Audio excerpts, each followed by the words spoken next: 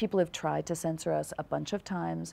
Um, typically, most uh, most of the attempts fail. They fail because we have a good legal department. They fail because of a bunch of things. But I think that they, the real reason that they fail is because Wikipedia is a behemoth, right? It's what the Internet Watch Foundation said. People like Wikipedia. Public opinion is on their side. So people can't get away with censoring us in the same way that they can, like Joe's website down the street, who nobody's ever heard of, right? And so I've been thinking about that a lot, and I've been thinking about the, the, the shape that the internet is taking and the direction in which it's going.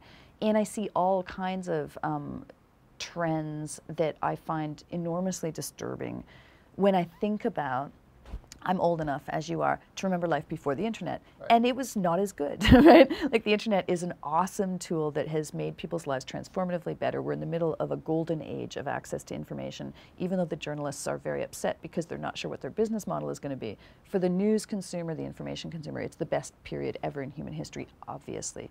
And I worry that we risk losing that. And I worry that we risk losing it for a whole bunch of different reasons. Governments beginning to assert authority over the internet and sort of national boundaries that for a while seemed to be kind of melting away a little bit. Um, you know, commercialization and private sector groups, private sector organizations wielding enormous power and not really being accountable um, for the decisions that they're making.